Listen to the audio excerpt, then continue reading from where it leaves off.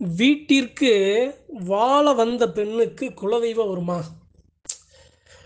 பிறந்த வீட்டு தெய்வம் புகுந்த வீட்டு தெய்வம்னு இருக்குங்க. ஒரு பெண் திருமணம் ஆகிற வரைக்கும் பிறந்த வீட்டு தெய்வம் தான் அவங்களுக்கு குலதெய்வம். அதை வணங்கி வருவாங்க. ஆனால் திருமணம் ஆன பின்பு அவங்களுக்கு இரண்டு தெய்வங்கள் கை கொடுக்கும். வழக்கை இடக்கை மாதிரி பிறந்த வீட்டு தெய்வம் புகுந்த வீட்டு தெய்வம். சரிங்க. எந்த சாமி அவங்க மேலே வரும் அப்படின்னா அவங்க மேலே வர்ற சாமி சாமி எல்லார்ட்டையும் வந்துடாது. ஒரு இருபத்தோரு தெய்வம் இருக்குது ஒரு தெய்வம் மூணு தெய்வம் இருக்குது அப்படின்னா அந்த கும்பல பல பெண்கள் பல ஆண்கள் இருப்பாங்க அப்படின்னா எல்லாத்துக்கும் சாமி வந்து வந்துடாது. அந்த தெய்வத்தை சுமக்கிற அந்த வாக்கு யாருக்கு இருக்கோ அந்த தெய்வம் யாரை தேர்ந்தெடுத்திருக்கோ அவங்களுக்கு தான் சாமி வரும். சரி. அப்படி வர்ற சாமி யாருக்கு வரும் அப்படின்னா அந்த குளத்தில் இருக்க பெண்மணிக்கு தான். திருமணம் ஆயிடுச்சு அப்படின்னா அவங்களுடைய குலதெய்வம் மாறும். எப்படி சொல்லுது அப்படின்னா தன்னுடைய தந்தையார் வணங்கின குலதெய்வத்திலிருந்து தன்னுடைய கணவனோட தெய்வம் தான் குலதெய்வமாக மாறும். அதுக்காக தன்னுடைய தாய் வீட்டில் தந்தை வீட்டில் இருந்த குலசாமி எப்படிங்க மாறாமல் எப்படி அந்த பேசாமல் போயிருமா அப்படின்னு கேட்கக்கூடாது. ஆனால் அந்த குலதெய்வம் மிக உரிமையோடு அந்த கும்பலில் இருக்கிற அந்த பெண்மணிகிட்ட பேச ஆரம்பிக்கும். சரிங்க? இன்றைக்கி இந்த பதிவில் இது போன்று வீட்டிற்கு வாழ வந்த பெண்களுக்கு குலதெய்வம் வருமா அப்படின்னா குலதெய்வம் அவங்களுக்கு தான் வரும். அந்த குலதெய்வத்தை ஆடுற சுமக்கிற அனைத்து அதிகாரங்களும் உரிமை உரிமைகளும் அந்த பெண்ணுக்கு இருக்கும். சரிங்க. சிறு வயசில் பிறந்த வீட்டு தெய்வம் அவங்க மேலே வருது. அவங்கள கட்டி கொடுத்துட்றாங்க. அப்போ அந்த பிறந்த வீட்டு தெய்வம் இனிமேல் அங்கே வராதா? புகுந்த வீட்டு தெய்வம் தான் வருமா? அப்படின்னு கேட்கலாம். அதாவதுங்க எப்படி சொல்கிறது அப்படின்னா ஒரு பெண்மணி இருக்காங்க. அவங்க அவங்க சிறு பிள்ளையிலேருந்து அவங்க மேலே அவங்க சாமி வருது பரிபூரணமாக வருது அப்படின்னா அந்த பெண்மணி திருமணம் ஆனதுக்கப்புறம் அந்த கண்டிப்பாக அந்த தெய்வமானது அவங்க மேலே இருந்து அந்த கும்பில் இருக்க குல குலதெய்வ பெண்களுக்கு மாறும். இப்போ ஒரு சில பேர் நிராகரிப்பாங்க. அவங்களுக்காக நான் இதை சொல்ல வரல.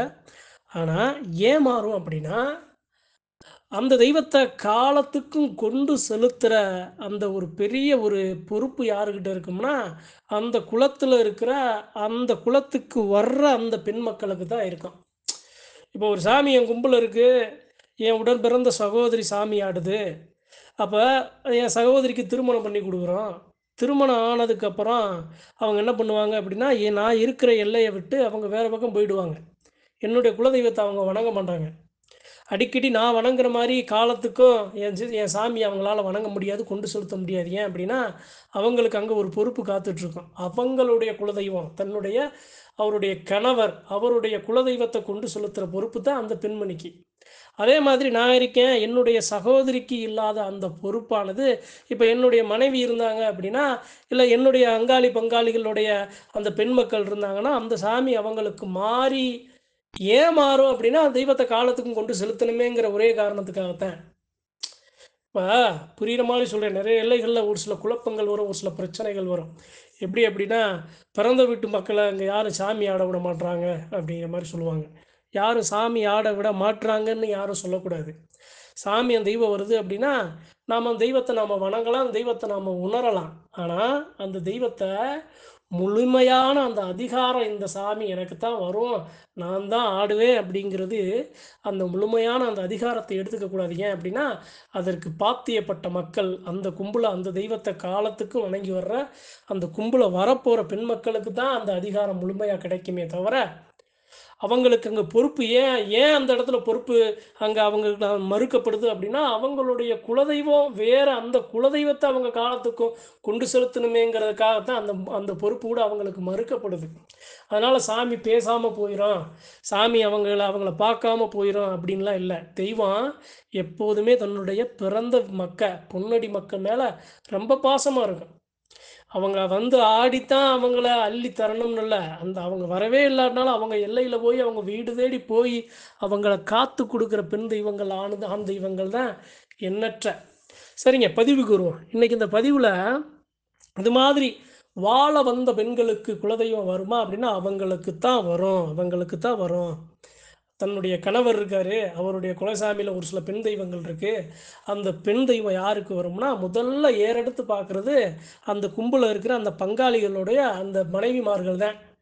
அதில் யார் சரியாக நீதியின் பக்கம் சத்தியத்தின் பக்கம் உண்மையின் பக்கம் நேர்மையின் பக்கம் நின்று காலத்துக்கும் குலதெய்வத்தை கொண்டு செலுத்துகிற பொறுப்பு யாருக்கு அந்த தெய்வமாக தேர்ந்தெடுக்குதோ அவங்க மேலே அந்த சாமி பரிபூரணமாக இறங்க அவங்க ஆடி வருவாங்க. அதுக்கப்புறம் அந்த தெய்வத்தை அவருடைய மகன் அதே சமயம் அவருடைய மருமகள் மகளுக்கு கொடுக்க மாட்டாங்க. புரிஞ்சுக்கிறணும்.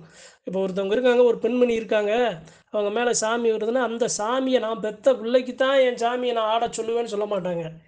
அவங்க அந்த சாமியை அந்த குருவுங்களை கொடுத்து யார் ஆட சொல்லுவாங்கன்னா தன்னுடைய மருமகள் தன்னுடைய மகனுடைய மனைவிக்கு தான் அந்த மருமகளுக்கு தான் அதுவே கொடுப்பாங்க. அதில் புரிஞ்சுக்கிறணும். ஏன் கொடுக்குறாங்க? ஏன் மகளுக்கு கொடுக்கல? ஏன் மருமகளுக்கு கொடுக்குறாங்க? ஏன் அப்படின்னா அந்த தெய்வத்தை கொண்டு செலுத்தணும். அதுதான் ரொம்ப ரொம்ப முக்கியமான ஒன்று சாமி ஆடுறது முக்கியம் இல்லைங்க. சாமி யார் வேணாலும் ஆடலாம். சாமி யார் வேணாலும் நான் தான் என் மேலே சாமி வருதுன்னு சொல்லலாம். ஆனால் அது அதோடு முடிஞ்சிடாது. அந்த தெய்வத்தை காலத்துக்கும் கொண்டு செலுத்தணும். இப்போ நான் இருக்கேன். என் மேலே என்ன என் மனைவி மேலே சாமி வருது அப்படின்னா என்னுடைய மனைவி அந்த தெய்வத்தை காலம் முடிகிற வரைக்கும் அந்த தெய்வத்தை நினச்சி வணங்கி அந்த தெய்வத்துக்கு தேவையான அந்த பூஜை புனஸ்காரம் அந்த காலத்துக்கு அந்த சாமியாடியாக இருந்தால் அந்த எல்லைக்கு போக அந்த அம்மா என்ன முடியுமோ அதை அந்த சாமிக்கு செஞ்சு தொண்டு செஞ்சு வர்றதான் அந்த தெய்வத்தை வணங்கி வர்றதான் கடைசி வரைக்கும் காலம் முடிகிற வரைக்கும் யாரால் செய்ய முடியும்னா அந்த கும்பல வாக்கப்பட்ட அந்த பெண்மணியாலலாம் செய்ய முடியும். வேறு யாராலையும் செய்ய முடியாது. அதனால் இதில் யாரும் மன வருத்தம்லாம் படக்கூடாது. நான் அப்பா விட்டு சாமி நான் போய் ஆட போனேன். என்னை ஆட விட என்னை ஆடக்கூடாதுன்னு சொல்லிட்டாங்க. நாமளா புரிஞ்சுக்கிறனுங்க. நாமளா புரிஞ்சுக்கிறணும். ஏன் நம்ம அப்பா வீட்டு சாமி நம்ம போய் ஆடக்கூடாது அப்படின்னா அங்கே நமக்கு ஆடக்கூடாதுன்னு இல்லை. நமக்கு நம்ம அப்பா வீட்டு சாமி மாதிரி நமக்கு நம்மளுடைய வீட்டுக்கார் வீட்டு சாமி இருக்குது அந்த சாமியை நாம் கொண்டு செலுத்தணும். அதுதான் நம்மளுடைய குலதெய்வம்.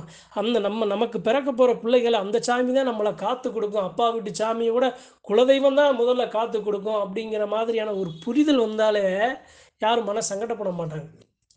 எல்லா எல்லைகள்லையும் எப்படி சொல்கிறது அப்படின்னா குலதெய்வத்தை வழிநடத்தி செல்கிறதே பெண்கள் தாங்க பெண்கள் தாங்க. அப்போ ஒரு சில பேர்லாம் கேள்வி வைக்கலாம். இல்லைங்க நான் சின்ன பிள்ளையிலேருந்து நான் அந்த சாமியை நான் ஆடி வந்தனே. அப்போ எப்படி அந்த சாமி எப்படி எப்படி நான் எப்படி ஆடாமல் இருக்க முடியும்? அப்படின்லாம் ஒரு சில கே- ஒரு சில கேள்விகள்லாம் முன்வைக்கலாம். அந்த தெய்வம் அதுக்கு சரியான உங்களுக்கு ஒரு விடையை கொடுக்கும். உங்கள் மன அழுத்தத்துக்கு உங்கள் மனதுக்கு அந்த புரிதலுக்கு ஒரு சரியான ஒரு பதிலை கொடுக்கும். ஒரே ஒரு விஷயம்- ஒரே ஒரு விஷயந்தான் அழுத்தம் திருத்தமாக சொல்கிறீங்க நம்ம சாமி இருக்குது அப்படின்னா அந்த சாமி யாரை முகம் பார்க்கும் யார் மேலே பரிபூரணமாக வரும் அப்படின்னா அந்த குலத்திற்கு இது போன்று வாக்கப்பட்டு வந்த மக்க தாம் பிள்ளைகளோட தாம் பிள்ளைய தான் தான் இதுதான் என்னுடைய சாமின்னு வர்றாங்கல்ல. அந்த பிறந்த வீட்டில் புகுந்த வீடு வர அவங்களுக்கு தான் முதல் உரிமை கொடுக்கும். அவங்க மேலே தான் சாமி வரும். அதனால் இந்த பதிவில் அவங்க தான் தெய்வத்தை சுமக்கிற அனைத்து அதிகாரங்களும் பெறவங்க யார் அப்படின்னா வீட்டுக்கு வாழ வரப்போகிற அந்த பெண்கள் தான். அதனால் இந்த பதிவில் இன்றைக்கி நான் சொல்கிறதுக்கு காரணம் என்ன அப்படின்னா பெண்மணி யாராக இருந்தாலும் நான் போய் அந்த வீட்டுக்கு நான் போனேன் நான் திருமணம் ஆயிடுச்சு என் வீட்டுக்காருக்கு சாமி வருது அதனால் நானும் சாமி ஆடலாமா அப்படிங்கிறதுக்காக அல்ல. உங்களுடைய குலதெய்வங்கிறது உங்களுடைய கணவர் வழி வீட்டு தெய்வம். அந்த தெய்வம் தான் உங்களை எல்லாமுமா இருந்து முதல்ல பார்த்து பாதுகாக்கும். உங்கள் கும்ப உங்கள் கொடியை உங்கள் தொப்புள் கொடியை அந்த விருத்தியை எல்லா அந்த குழந்தை வாரிசு எல்லாத்தையும் கொடுக்க போகிறது உங்களுடைய அந்த கணவருடைய குலசாமி அவர் தான் அந்த தெய்வம் தான் எல்லாம் காக்க போகுதுங்கிறத புரிஞ்சுக்கிறணும். அதாவது எப்படி சொல்கிறது அப்படின்னா எல்லாம் புதுசாக தான் இருக்கும். பெண்களுக்கு திருமணம் ஆனதுக்கப்புறம் சாமி முதற்கொண்டு எல்லாமே புதுசாக தான் இருக்கும். ஆனால் நீங்கள் எப்போ வருவீங்க அப்படின்னு அந்த சாமி உங்களுக்காக காத்துட்ருக்கோம். என் பிள்ளைக்கு எந்த கும்பலை விருத்தி வரப்போதப்பா யாருப்பா அது? அந்த மகராசி யாரு? அப்படின்னு உங்கள் சாமி அந்த குலசாமி உங்களுக்காக அந்த கும்புக்கு வாழ வரப்போகிற பெண்களுக்காக காத்துட்ருக்கோம். அவங்கள அழகாக துடிகுண்டு காத்து நிற்கும் அதை புரிஞ்சுக்கிறணும் சரிங்க. இந்த பதிவில் மறுபடியும் நான் சொல்கிறதுக்கு காரணம் என்ன அப்படின்னா வாழ வந்த பெண்களுக்கு குலதெய்வம் வருமானம் அவங்களுக்கு தான் வரும். அவங்களுக்கு தான் முழுமையான அதிகாரம் இருக்கும். அவங்களுக்கு இல்லாத அதிகாரம் வேறு யாருக்கும் இல்லை. அவங்க சரியான நிலையில் இருந்தாங்கன்னா அந்த சாமி யாருக்கிட்டேயும் வராமல் இருந்துச்சுன்னா அவங்க மேலே தான் கண்டிப்பாக சாமி வருங்கிறதுக்காக இந்த பதிவு அன்பர்கள்ட்ட பகிர்ந்து கொள்ள ஆசைப்பட்றேன். நன்றி வணக்கம். மற்றும் ஒரு பதிவில் சந்திப்போம்.